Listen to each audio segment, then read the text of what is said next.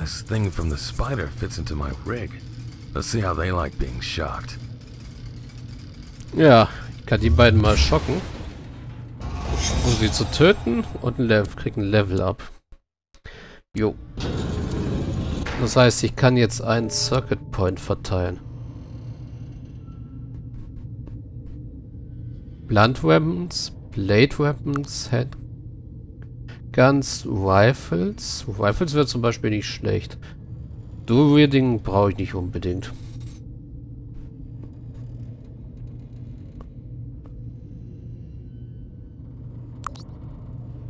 Ich quicksave mal kurz, um zu gucken, ob ich das auch wieder rückgängig machen kann.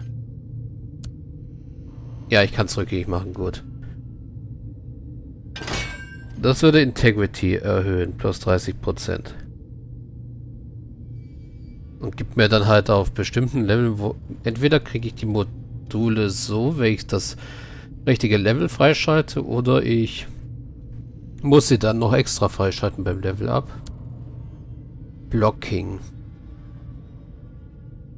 Plus 6% Sheetblock-Chance wäre auch nicht schlecht. Taumer Catalyzer brauche ich jetzt noch nicht, weil so oft werde ich das vielleicht nicht nutzen. Hm, Rifles. Und ich würde lieber Blade Weapons nehmen, also Blade Weapons und Rifles.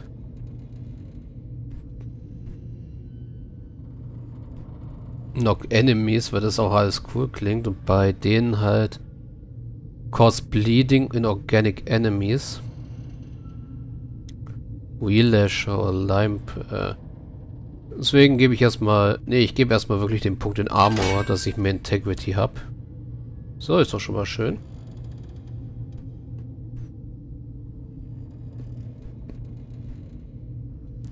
Sind halt nur 7% jeweils.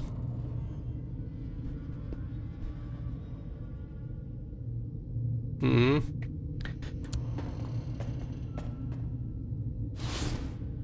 Chromium Capacitor.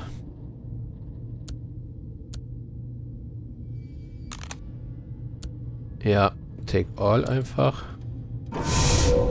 Plus 25 Chromium, sehr schön. Damit scheinen wir das erste Level abgeschlossen zu haben.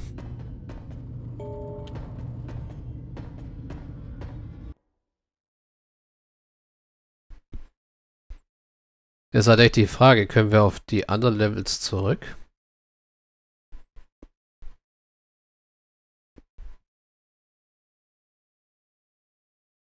Oder ist das wirklich levelbasiert? Wir können auf die anderen Levels zurück, okay.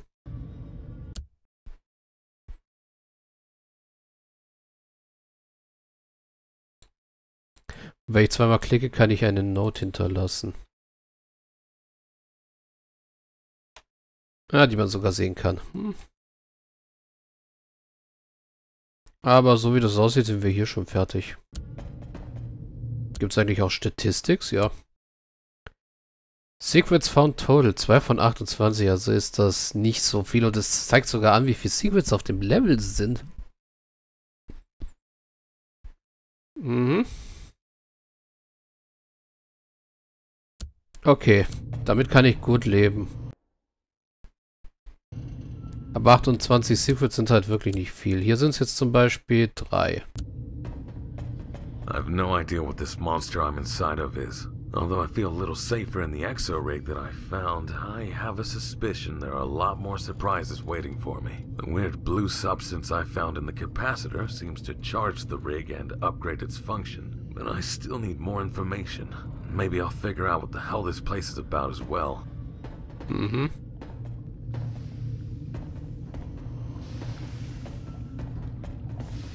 Bis jetzt nur straightforward.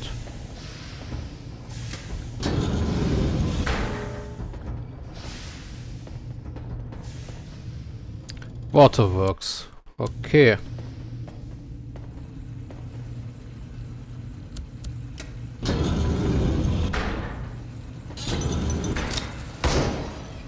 Äh. Blitzdingsen wir mal. Ha.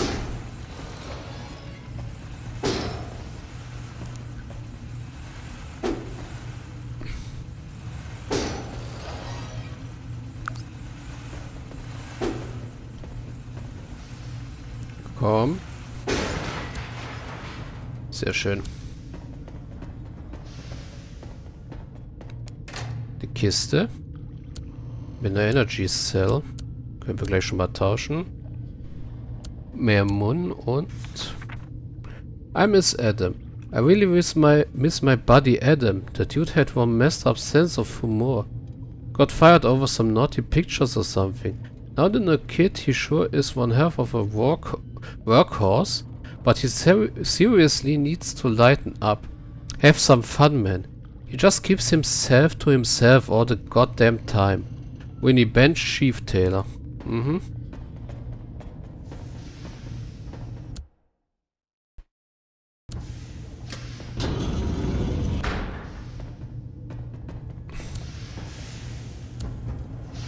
Ach ja, und wenn ich umswitche, dann ähm, ändert sich auch mein äh, Integrity. Integrity. Hm. Au! Wie frech.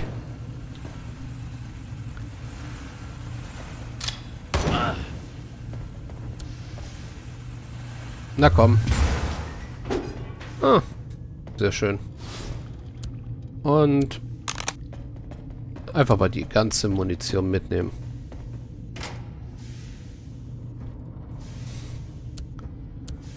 Waffen. Das ist schon mal nicht schlecht. Ihr seid einhändig, ja. Family Gun. I found in a hidden corridor a perfect place to hide my precious piercer.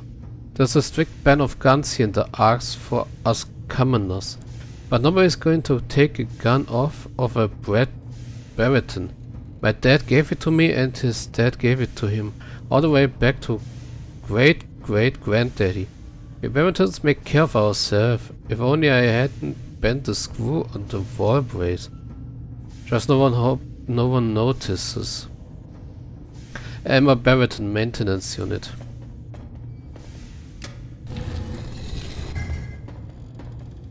Also ja, Secret halt.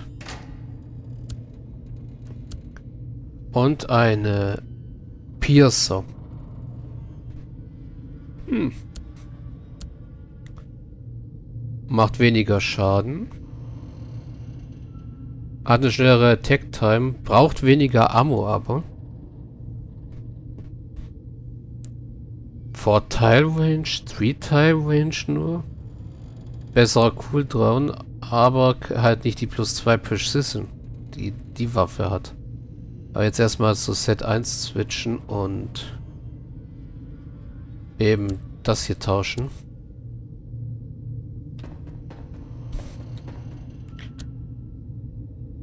Aber ich denke, ich nehme den mal für eine Weile.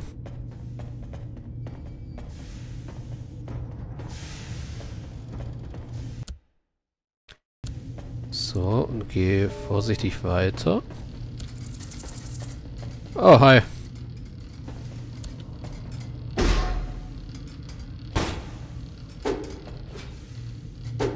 Na komm.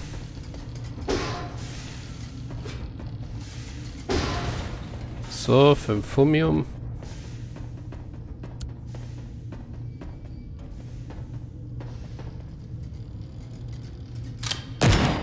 Hm, natürlich treffe ich nicht.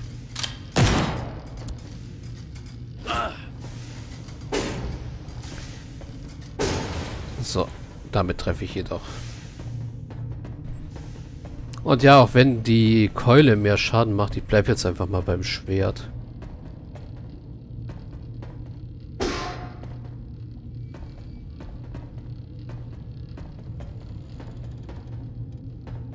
Und ich muss auf jeden Fall nach solchen Schrauben Ausschau halten. Mhm. Hi.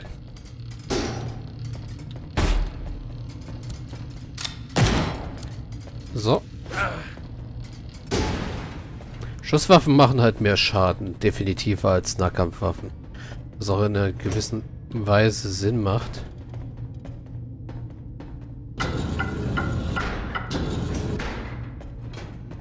Also ja.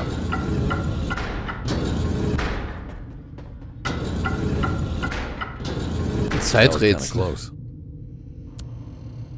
Ein Verbandskasten, also Repair-Kit halt.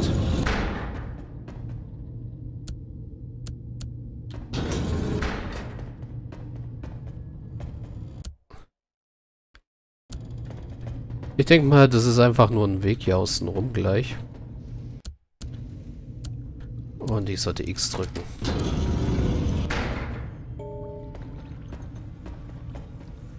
Hi.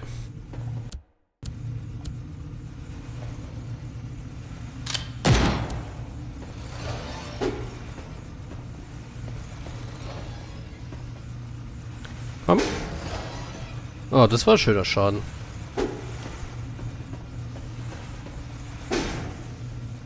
Na, komm näher. So, plus 10 wieder. Was sagt denn eigentlich mein Ding? So, ich bin schon wieder auf der Hälfte zum nächsten Level. Der könnte etwas unangenehmer werden. Deswegen schocke ich ihn mal.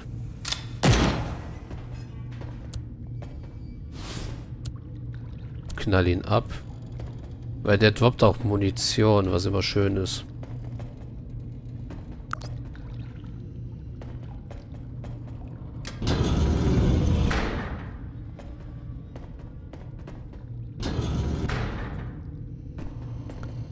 Die Tür geht von automatisch wieder hinter mir zu.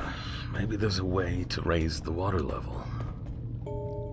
Ja, weil ich, da kann ich nicht mal runtergehen. Das tut mir einfach nur weh.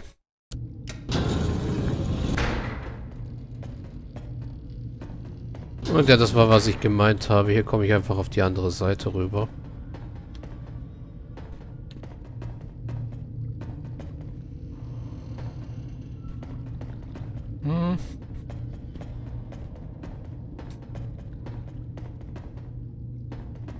Also ich habe auf jeden Fall schon mal recht viel Spaß bei dem Game.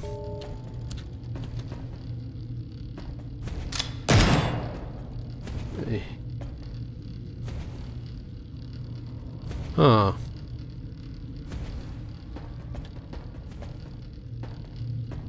Und ich sollte vorsichtig sein, wo ich drauf drücke. Nur wenn wirklich so ein Zahnradsymbol kommt.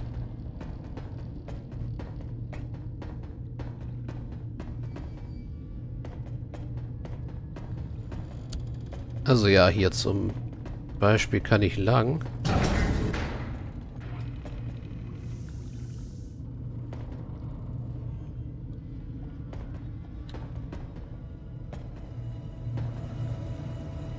Du Ding siehst bedrohlich aus.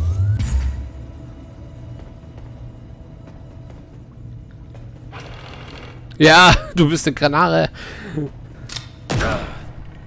Au.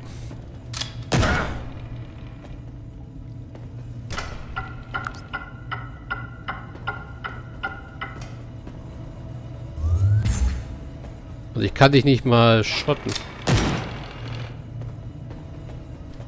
Ja, damit ich nicht immer eins auf die Fresse kriege, muss ich das wohl so machen.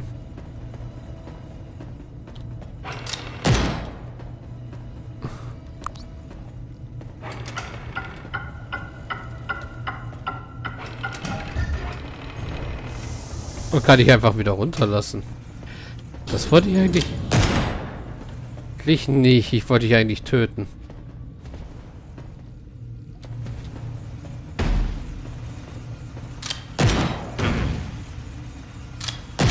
Was willst du? Au.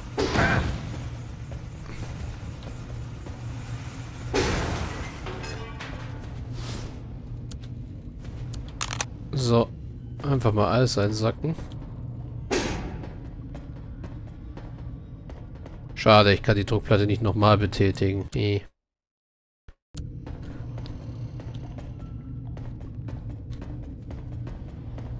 Gehen wir noch hier rum?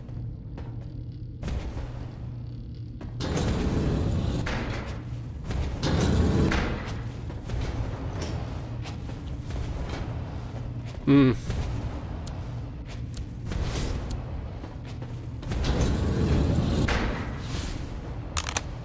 So. Oh. dasselbe Spielchen wieder.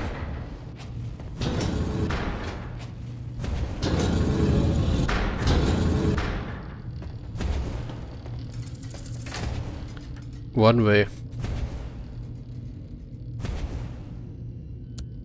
Oh, ein Aim Stabilizer. Und Zeug.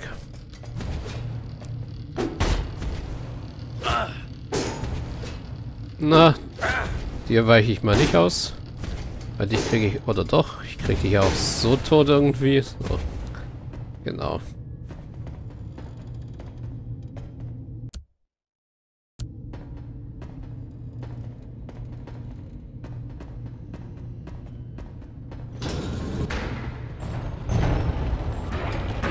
Ach du meine Güte.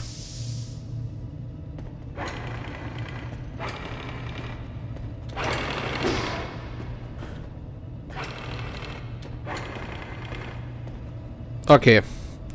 Hierfür packe ich mal die Stachelkeule aus. Kann ich euch beide elektrisieren? Nein.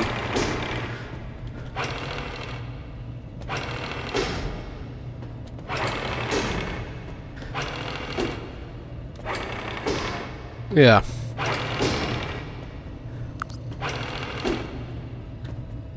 Aha. Das mache ich hier noch.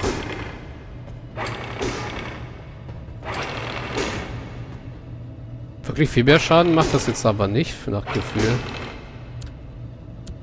Packen wir mal wieder das Ding aus. Na doch, macht mehr Schaden.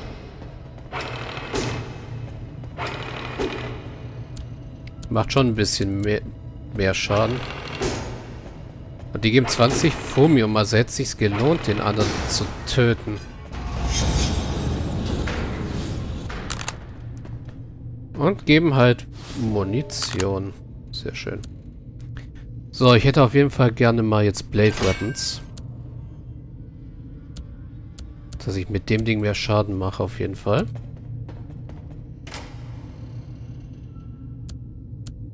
Recruit Mace, Geld und ein Silver Key.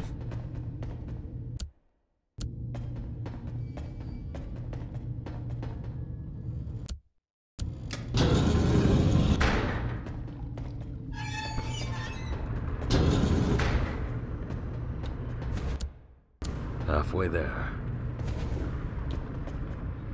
Achso, da war die Feuergeschichte. Und ja, ich war hier noch nicht drin. Gut, ich denke mal eigentlich fast, dass ich meinen nächsten, meinen Kandidaten fürs, Wo äh, fürs Wochenendprojekt gefunden habe, weil ich finde das Spiel gerade recht großartig. Hä?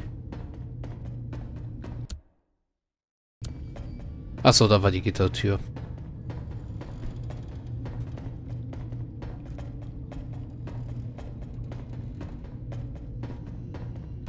Will ich noch hier reingucken, weil hier scheint ja nicht mehr viel zu sein. Ich habe nichts gesagt. Hunter Shotgun. Sehr schön. Basic Servo Boost. Melee. Damage for limited time. Ja, wäre besser als die Precision.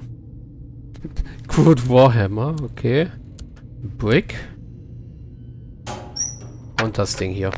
Such fond memories of my study years. The Bureau had granted me a scholarship, which I gladly repaid by pledging to work in the Arx Vaporum for a seven-year term. My dreams came true. When I first arrived on Capital Island, coming from my home at Garian Islet, the astonishing sight of the labs, workshops, and all the machinery took me by storm. It was like Christmas trees covered with shiny cogs instead of balls and ornaments. It was heaven. Lots of folks grumble at the Bureau nowadays for silencing the critics and abusing power, supposedly. In my eyes, the Bureau is doing it right. Technology, order, and science should all be at the heart of society. I am where I am today amidst the pioneers of the world, only thanks to the Supreme Bureau. Mhm. So, Statistik sagen, wir haben bereits ein Secret hier gefunden. Zwei fehlen uns noch. Könnte vielleicht hier noch irgendwas sein, wenn nicht hier drüben vielleicht oder halt weiter. Auf jeden Fall. Weil bis jetzt haben wir ja nur das eine hier gefunden. Aber ich denke mal, ich speichere jetzt mal richtig. Das hier war unser Quicksave. Ne, Quicksave sehe ich hier gar nicht. Wahrscheinlich, damit ich es nicht überspeichern kann. Nächstes Mal LP 001. Und speichern. What a nerd. Hat er jetzt gerade mich gemeint, weil ich gespeichert habe oder den Typen? Egal. Das war jetzt mal das Let's Test soweit. Mir gefällt das Spiel schon mal recht, also was heißt recht, sehr, sehr gut. Auch wenn es ein bisschen komisch ist, in der Steampunk-Welt mit dem Buckler rumzurennen. Hm. Aber ja. Ich habe auf jeden Fall Spaß dabei. Also, dann würde ich sagen, sehen wir uns noch bei dem letzten ähm, Projektkandidaten, die ich euch noch auf jeden Fall noch zeigen möchte. Und dann sehen wir uns entweder bei diesem oder bei einem anderen Projekt wieder. Also, bis dann.